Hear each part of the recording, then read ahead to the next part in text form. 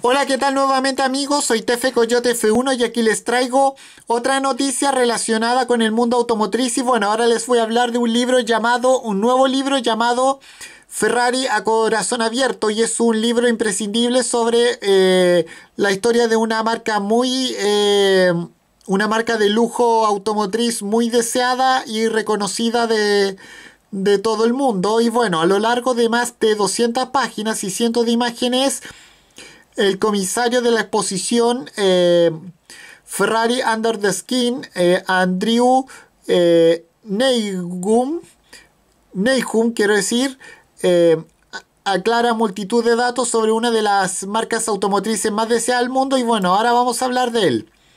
Bueno, con motivo del aniversario número 70 de Ferrari y la exposición en el Design Museum de, de Londres, eh, llamado Ferrari Under, the Skin que se celebró entre el día 15 de noviembre de 2017 y, 15 de abril de 2018.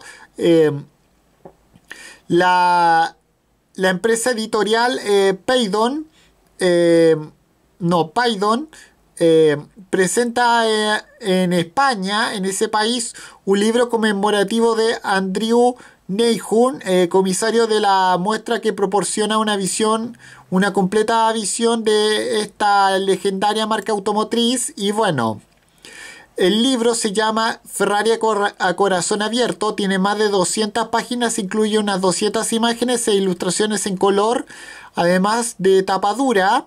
Y bueno, además eh, su contenido realiza un completo análisis y estudio de una de las marcas automotrices más deseadas y conocida, reconocidas de este planeta. Me refiero a Ferrari, obviamente. Y bueno, además eh, incluye material adicional y cuidado son como son dibujos de ingeniería y bocetos de estilo, así como objetos de recuerdo, documentos, todo, eh, todo ello para contar de una forma reveladora y amena la historia del éxito de una marca que es, que es hasta ahora todo un icono y bueno, eh, Ferrari es, una empresa que es una empresa automotriz que surgió a raíz del término de la Segunda Guerra Mundial y desde sus inicios con, contó con la ambición de su fundador Enzo Ferrari cuya personalidad es desmembrada. Eh, bueno, en este, en este gran y completo libro que dada su importancia vital para la evolución de esta automotriz. Y bueno, eso quería comentarles y con esto me despido. Nos vemos, adiós, que me fuera, chao.